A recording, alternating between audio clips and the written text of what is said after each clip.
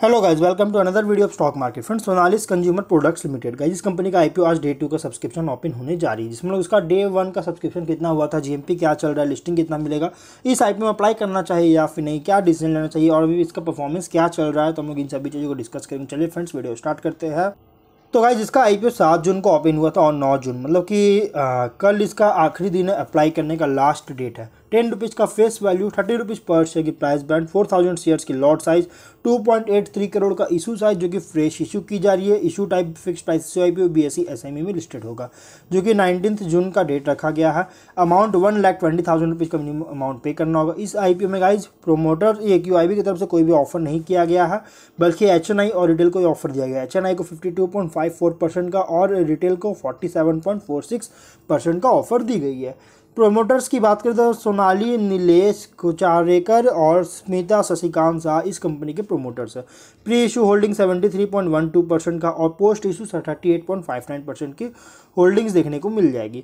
अगर रेशियोज की बात करें 2.98 टाइम्स का पी रेशियो जो कि बहुत ही कम पी रेशियो एक अच्छी बात है, लेकिन ई पी एस टेन का है। और रिटर्न और नेटवर्थ 19.6 परसेंट का बहुत ही लो देखने को मिल रहा है। ऑब्जेक्टिव क्या है? तो वर्किंग कैपिटल रिक्वायरमेंट का जो है फिनांस करना चाहती है? प्लस जनरल कॉर्पोरेट पर्पस और इशू एक्सपेंसेस को मीट करना चाहती है, जिसके लिए आईपी लाया गया। अगर हम यहाँ पे डे बाई डे का सब्सक्रिप्शन देखें तो यहाँ पे देखिए डे हाँ यहाँ पे जो सो टोटल जो है one point six four times का हो चुका है, जो कि one hundred sixty four percent की सब्सक्रिप्शन जो कि फुल्ली से ओवर हो चुका है, थोड़ा सा ओवर हो चुका है, लेकिन यहाँ पे H N I zero point seven three times का, जो कि एच एन आई से भी अंडर सब्सक्रिप्शन है, यहाँ फुल्ली भी नहीं हुआ, लेकिन retail two point six three times का, जो कि रिटेल यहाँ पे ओवर देखने को मिल रहा है। मतलब इस आईपीओ में रिटेलर्स के द्वारा जो है बहुत ज़्यादा सब्सक्राइब किया जा रहा है। लेकिन अब देख, क्या इस आईपीओ में अप्लाई करने लायक है या फिर कंपनी किस तरह की परफॉर्मेंस है, क्या होना चाहिए? देखिए इसका जीएमपी जो है सो माइनस वन का देखने को मिला और माइनस वन का जीएमपी होने के कारण गाइज़ कंपनी निगेटिव में लिस्टिंग होने के चांसेस में जितना प्राइस बैंड रखा गया, उससे भी निगेटिव में, उससे भी कम में कंपनी जैसे यहाँ पे लिस्टिंग होने के चांसेस है। अब अगर हम बात करें इस कंपनी के बारे में तो यहाँ पे देखिए, कंपनी जैसे 2022 में इनकॉर्पोरेट किया गया। मतलब हाल ही में इनकॉर्पोरेट किया गया। इससे पहले company as a appetite food नाम से कंपनी जो बिज़नेस करती थी, लेकिन 2022 में सोनाली कंज्यूमर प्रोडक्ट्स ने इस कंपनी को टेक ओवर कर लिया था। और इसी कारण से कहा इस कंपनी का जो सो इनकॉर्पोरेशन दो हज़ार बाईस में किया गया as a Sonali consumer products limited के नाम से, जो कि न्यूट्रिशन बार्स और हेल्दी स्नैक्स का डिस्ट्रीब्यूशन करती है। प्लस कंपनी जो है यहाँ पे बिज़नेस लाइन और बिज़नेस डिस्ट्रीब्यूशन नेटवर्क जो है एपिटाइट फ़ूड का पूरी तरह से एब्जॉर्ब कर लिया है।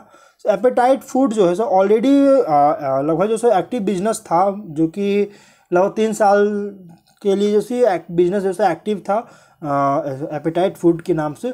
और जिसमें कंपनी जो है यहाँ पे इसी रीज़न में जो है बिज़नेस को ग्रो या एक्सपैंड करने के लिए कंपनी का जो है एक आइडियल प्लेटफॉर्म प्रोवाइड कराना था, जो कि यहाँ पे देख सकते हैं, अब जो है कराना है।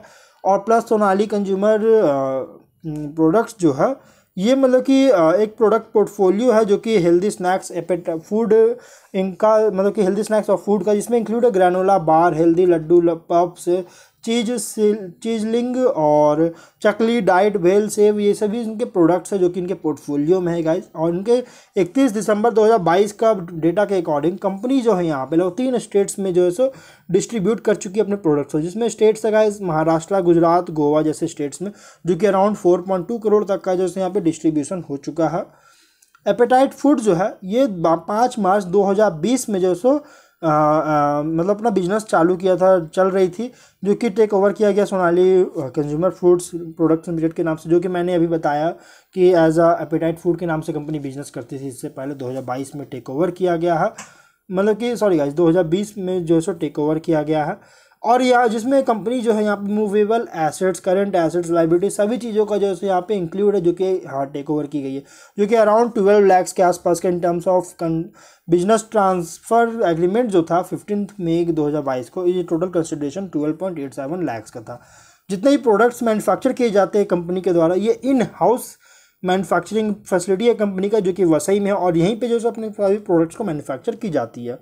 इंसोनालिस कंज्यूमर प्रोडक्ट्स लिमिटेड जो है ये इफ़ेक्टिव बिज़नेस मॉडल पर जो सो बहुत ज़्यादा डेवलप कर चुका है। और साथ में स्ट्रिंजेंट कंट्रोल ओवर प्रोसेस जिसमें इंक्लूड है raw ingredient procurement manufacturing operations inventory management across लगभग large range of products and SKUs का मैनेजमेंट ऑफ़ डिस्ट्रीब्यूशन लॉजिस्टिक्स लगभग इंडिया के अंदर। और साथ में market man deemed export sales को भी मैनेज कर रही है। तो कंपनी का बिज़नेस मॉडल ठीक ठाक है, लेकिन फिर भी का कंपनी जिस तरह से, जिस बिज़नेस मॉडल पर जिस मतलब कि कंपनी सेगमेंट में ऑपरेट हो रहा है, ये एक बहुत ही हाईली कॉम्पिटेटिव और बहुत बड़े बड़े कंपनीज़ के कॉम्पिटिटर जैसे बिकाजी फूड्स हो गया बालाजी हो गया, बहुत बड़े बड़े कंपनी जिनके कॉम्पिटिटर है। प्लस ये सडन यहाँ पे फिनेंशियल्स अगर देखिए तो सिर्फ़ नाइन मंथ्स ट्वेंटी थ्री का ही फिनेंशियल्स अपडेट किया गया सिक्स पॉइंट फोर करोड़ का। Revenue four point two crore का प्रॉफिट सिक्सटी एट लैक्स का, और फाइव लैक्स का डेट देखने को मिल रहा है। यहाँ पे फिनेंशियल रिसेंटली एडिट किया गया है, और इसके जो प्राइस बैंड रखे गए, बहुत ज़्यादा प्राइस बैंड इस आई के रखे गए। मतलब कि एक अच्छा ठीक ठाक प्राइस बैंड रखा गया रिसेंट अर्निंग्स अकॉर्डिंग लेकिन ट्रैक रिकॉर्ड के अर्निंग जो प्राइस बैंड है, बहुत ज़्यादा प्राइस बैंड देखने को मिल रहा है। जो कि देख सकते हैं बहुत ज़्यादा प्राइसी आईपीओ है और ये बहुत ज़्यादा रिस्की आईपीओ क्योंकि हाल ही में इनकॉर्पोरेट भी किया गया है। प्लस कंपनी मतलब कि एक तरह समझ सकते हैं कि ये छोटी कंपनी भी है, छोटी आईपीओ जो कि मेन बोर्ड में माइग्रेट लेने में बहुत ज़्यादा लंबा टाइम ले सकती है। हाई रिस्क लो रिटर्न आई तो इसको इग्नोर करना ही बेटर होगा क्योंकि और प्लस यहाँ पे जीएमपी में निगेटिव में देखने को मिल रहा है। अब देखना ये है कि आज के दिन देखना ये कि क्या इसका जीएमपी में अपडेट होती है या फिर पॉजिटिव में आती है या फिर नहीं। लेकिन अगर आप बहुत ज़्यादा, बहुत बहुत ज़्यादा रिस्क लेना चाहते हैं तो आप इसमें अप्लाई कर सकते हैं। अदरवाइज़ आप इसको इग्नोर कीजिए। क्योंकि बहुत ही ज़्यादा रिस्क और रिटर्न भी बहुत ज़्यादा लो है। इससे बेटर आप कोई और आई को देख सकते हैं गाइज़ मतलब इसी टाइम पे एक और आईपीओ भी ओपन है आईक्यू लाइटिंग जो कि बहुत ही अच्छी लिस्टिंग दे रही है, और मेन लाइन आईपीओ भी है। तो इसमें आप लोग अप्लाई करने के बारे में सोच सकते हैं, इस आईपीओ से बेटर ही होगा गाइस तब हम लोग जो है वीडियो कहीं पर एंड करते हैं। अगर कोई डाउट है कमेंट बॉक्स से पूछे, मिलते हैं नेक्स्ट वीडियो में। Till then bye bye